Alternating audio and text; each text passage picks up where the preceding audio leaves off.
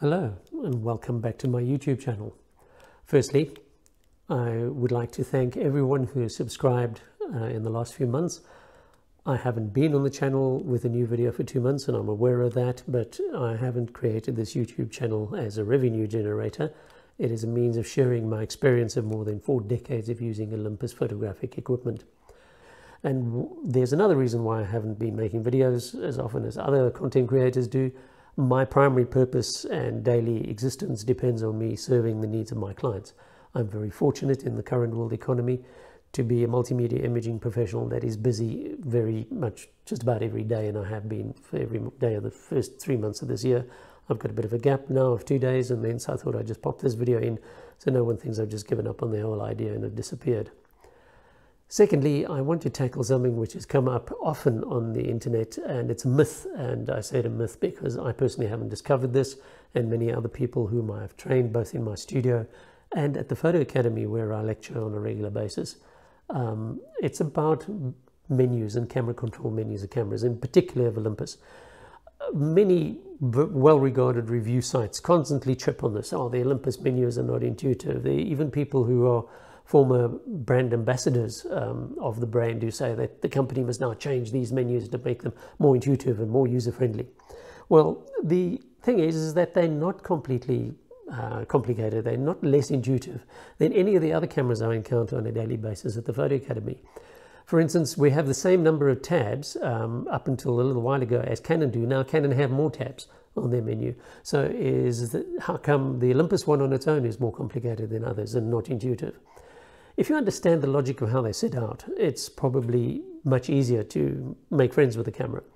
Now, to assist new students um, and those who are coming into my studio using the equipment we do, because many of them will have been schooled on Canon or Nikon, the two usual suspects. Sony is not that big in our country yet, but it is gaining inroads. Um, I've written menu booklets which set out the structure and the logic behind the menus and what each menu function is for and how you would set it as well as the default settings that we use in our studio. I will place links in the description below to these booklets. There's for the EM1, Mark 1, the 2, the 3 and the EM1X. You are welcome to download those. They're free of charge. Absolutely, if you find use in them, then I'll be very pleased to, to know about that. Um, if you have any suggestions for future editions of the booklets, I'll also take comments or emails on that. But the Olympus menu system is not difficult, as I've said before. It is logically laid out. You will find that the tabs on the left-hand side of the screen, you will have two tabs for camera. And those will tell you exactly how you can set various options on the camera. They are how to control the camera and, and make it do your bidding photographically. Then on cameras from the EM Mark II upwards, the Mark III and the M1X, there's a separate video menu. On the EM Mark V Mark III, there's also a separate video menu. And those are settings you would adjust if you're using the camera to make videos. Then you have a playback menu, which is denoted by the playback symbol. And once you've taken the picture, then you can go there to do things to the photograph you've taken. They also affect how the playback is shown on the screen, whether you see one image or you see 4, 9, 10, 25, as you please. Then you have the custom settings menu, which is commonly known as the gears menu in Olympus shorthand. And that menu consists of a whole lot of submenus, A down to J on various cameras, even further than that.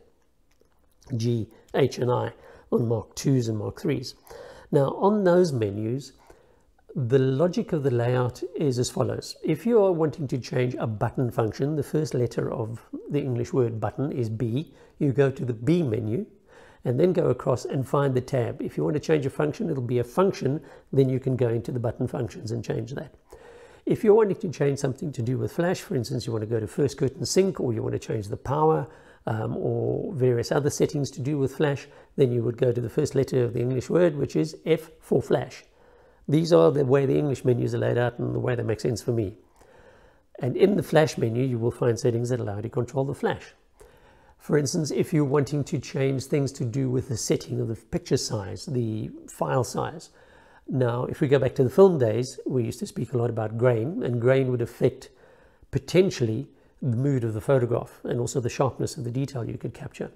Now, likewise, when you're setting pixel size and DPI size on your camera, that will have a similar result. So Your granularity, if you want to put it that way, is under the G menu, and the G menu allows you to set settings which control the image size and the file type, and so on. If you go through these booklets, which I'll link to, as I've said before, you will find the logic behind this and what each setting is for, also the default settings we use. Bear in mind these booklets were primarily written for our staff so that we can get new staff members schooled in the equipment as soon as possible and rapidly get them out to do work without tripping over the camera settings.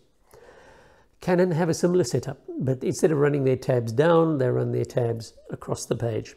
The final one on the Olympus menu is the settings menu, where you would set the core settings like the date, the time, the language. Speaking of the language, if you are English speaking, um, some of our assistants have an interesting sense of humor. Trying to put one over the boss sometimes. They'll hand the camera back to me set to Chinese or Russian or whatever. Um, and if you are handed a camera like that, um, it's not a problem. I just go to the menu, I look for the little man on the final tab, the speech bubble, and English is in the top left hand corner.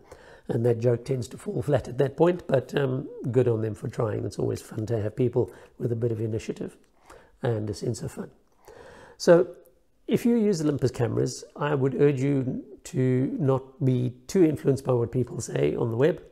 Um, even those who are former influencers are saying it's something that needs to be changed. I can't agree because one of the key things when you write an assignment is not having to rethink about a new menu layout. And if you know where things are and they've been the same for a long time, it helps you to achieve what you purchased the camera for, and that is to deliver the results your client needs. There's always a goal and a purpose to picking up a camera, or at least there should be in my view. And if you can satisfy that goal and you can do it quickly without having to RTFM, um, and if you don't know what RTFM is, I will um, just pop it up on the screen and you can go and use your favorite search engine to find what that is. But in this all to summarize it, I think what we need to do is bear in mind the words which were written, and these are on the front page of every set of lecture notes that I hand out at the Photo Academy where I train by the man who is the father of the Olympus camera system, generally known as that, the camera designer Yoshihisa Maitani. This is what he said. A photographer's duty is to improve and increase his or her techniques. For knowledge of technique is the only tool for ensuring that the camera may be used to its maximum capability. So many photographers overestimate the functions and features of the camera by themselves, but I'm afraid that a cook who purchases the best knives available has no guarantee of producing excellent dishes. And I think there's a great lesson in that. Often we get too tied up with the knives and the pots and the pans, and we don't understand or keep in mind that the goal is to produce a meal. Or in photography, the goal is to produce an image or a video which suits the brief, which is the purpose for which the client called you. The client is not interested in what the camera is, they're not interested in what the menus are, they're not interested in where, how many megapixels you've got. If the picture delivers on the brief and fits the purpose for which you were called, then it's a great photograph. And you've used your equipment to the best of its ability to suit that particular purpose. And that's really what I think we need to do. We need to maybe stop getting hung up on features and megapixels and all these other things and use what we have to the best of its ability. Because even we in our daily work don't use every feature of every camera to its maximum potential. We have a particular set of requirements for a particular assignment. We set the camera according to that and then we make sure that we control all the other variables as best as we can, and we use the equipment to the best of its potential.